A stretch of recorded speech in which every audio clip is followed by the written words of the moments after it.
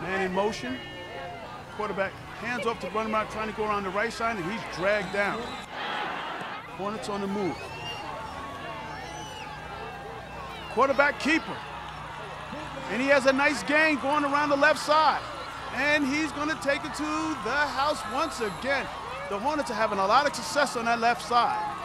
As they sucked in the Rosedale Jets in the middle. Let's watch the Rosedale uh, Jets in the middle. It was a counter play.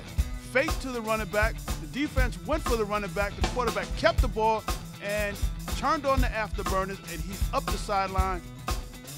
Six more points for the Hornets. Nice run. Nice play.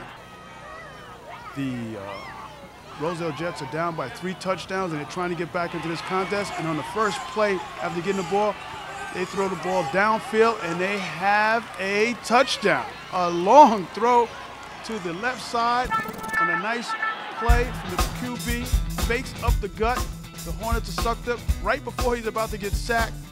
A nice catch amongst three defenders by the receiver, and he outruns the defense for a touchdown, and that is a big play here for the Jets as they get back. Watch just one more time over the outstretched hands of the defense. They try to get him around the ankles. They fail to do so, and number 11 for the Jets runs to pay dirt. Six points, Jets, as they get back into this football contest on a badly needed touchdown.